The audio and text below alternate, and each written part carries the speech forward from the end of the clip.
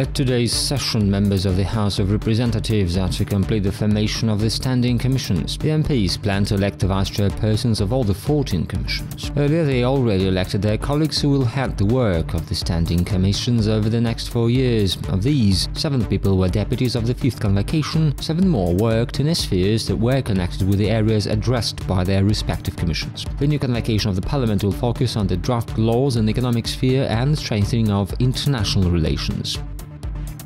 The National History Museum launched a unique virtual tour of the Kreva Castle. Unfortunately, the castle where a document was signed, which brought about a five centuries-long union between the Grand Duchy of Lithuania and the Kingdom of Poland, has not survived till present day. The visitors of the virtual tour can see the castle's fortifications at 10 different angles and also enjoy a 360 degrees view. Soon, the museum staff plan to use 3D graphics to recreate a number of other architectural landmarks. Work is already pending on the Halshany Castle.